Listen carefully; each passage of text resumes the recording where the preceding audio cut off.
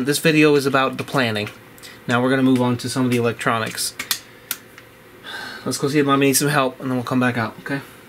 High five. This is gonna be awesome. Isn't that cool? I know, I'm really excited. to see this plane fly by itself. yeah. I don't really think I trust the landing, but I've seen other people do it. Oh yeah. I've seen other people do it, and it does work, but I don't want to do it around a bunch of people. I'd rather do it when there's nobody else out there. And then, Mm. and but I do want to try it. I mean, I may See if it I may works. try it and just see because that this GPS is accurate within 2.5 meters. which is pretty far. 2.5 meters is a pretty good distance. It's like not accurate enough to land a plane, in my opinion.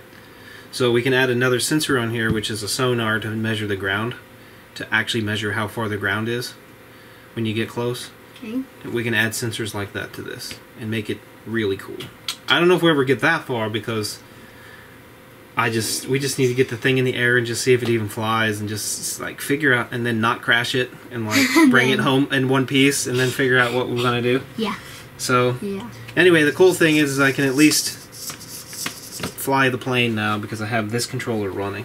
Pretty cool. Yes, you do. Again, Yeah, you better get out of here. I will. This is gonna stuck in here. It's gonna stink. Riley, Yes. what are you looking at? Bunch of boards and beagle bones. Why are they out? I don't know. You don't know? That's because you were sleeping. While you were sleeping, I was trying to find something. So I got all my stuff out, and this is what I was looking for. You know, you know what this is? Don't touch it yet. You know what it is? No. It's a GPS module. You know what that? It's a tracker. Yeah. You know what? if we lose the plane, we can track it. Well, that's sort of the hope. The other hope is that it it can know where it's at, so it can fly itself. You mean we, it'll scan the area? No, it just knows where it's at because it's tracking itself with GPS. You know what GPS stands for? No. G P S Global Tracking System. Oh, Global Positioning System. Global Position System.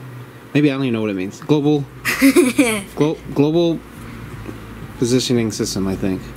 Anyway, it uses satellites. So this can connect up to 66 different satellites and determine its point in space because it's connecting to all those different things. So it's like a tracking device. No, it is a tracking device. So, Is it static? yeah, I gotta be careful. I'll set it here. So, I found another one on this board. So, we might pop that off if we want it, but there's two of them we can use. Actually, this one's different. Now that I look at it. So you went through all this to find this little bit. Yeah, but you know what? That saves me $40. 40. Yeah, 40 That's a lot of money. Yeah. That's good. Yeah. So let me show you what I did, okay? I'll set it up because I gotta put this together. Ready?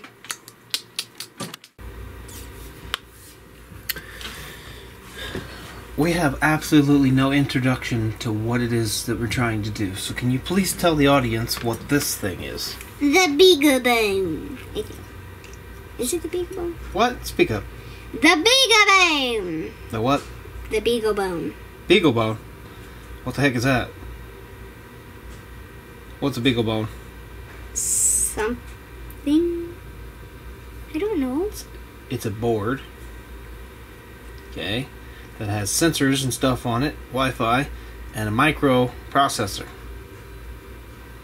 that's a microprocessor it's an arm based microprocessor 32-bit. Processor. okay Okay. that big chip there's a microprocessor does all the computing power there's one of those in this computer there's one of those in this watch they're all different but this one happens to be right there then this board also has CAN bus.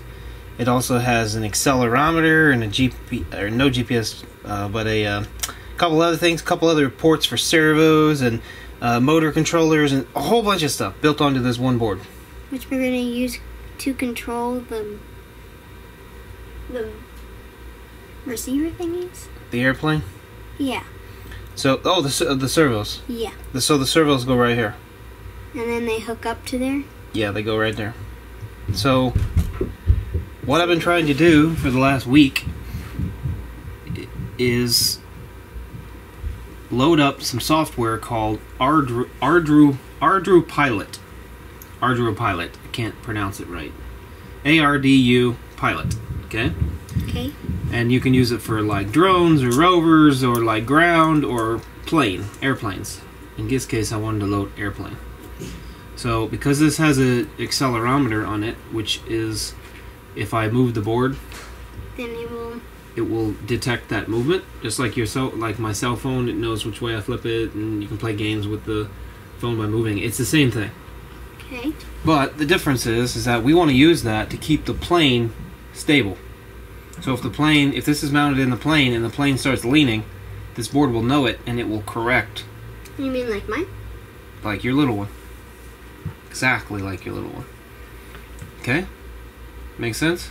Mm-hmm. That's what we're trying to do. But there's more to it. Arduino Pilot allows you to plan missions and autonomously fly the plane. On its own. which is really cool. So that's the secondary goal. The primary goal is to use the stabilizing system in Arduino Pilot plane to keep the plane stable. So we don't roll it and just smash it into the ground. So it's like your little plane, but we're using this to do it. Okay. Make sense? Yeah. That's our goal. So the reason I had all this crap out, which I just filmed before this, funny enough, we got this GPS unit. Okay? So this has a compass built onto it already. A com- you mean a compass? A compass, yeah. You see why it says X, Y, and Z? Yeah. Can't show the camera. It says X, Y, and Z on the board. That is because there is an accelerometer on this board and mounted in that direction. And then there's a compass and a digital electronic compass in here as well. Okay. So if I rotate the board, it knows where north is. cool. But you get interference and stuff if you're not Yeah, careful. mommy needs you. I'll be right there. Um, So this, okay, this will tell you where it's at, like in orientation wise. It also has an accelerometer. Um, so actually, the other thing is a, a not an accelerometer. I said it wrong. It's a positional. I forgot the name. I'll throw it on the screen. Forgot. Can't think. Anyway, so it also knows like if you jerk it around, it can tell that it's being jerked around, which is pretty cool. But what it can't do is it can't tell where it's at in space, like in the air. It has no idea. okay. GPS Knows where it is. knows where it's at. That's what that does. Global Positioning System. GPS. That's what that stands for. Okay. So, when you put these two together, and that's what we're going to do, we're going to be able to tell where it's at, how high it is off the ground, and um, also then what's level. And you need the basics basically in order to uh, accomplish the goal we're trying to accomplish. So, we're going to take this chip and we're going to solder these pins. This one looks used. I hope it's good. Tiny. We're gonna we're gonna solder these pins, hopefully, and link it up to this. That's what our goal is. Okay. I mean these tiny little things. Yes. I'll be right back. I have to help mommy.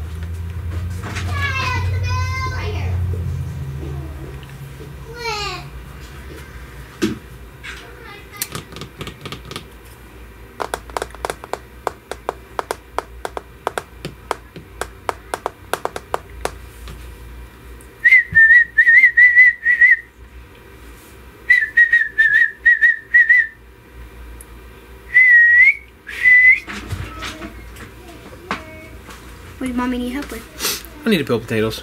Okay, let's go. Let's do it.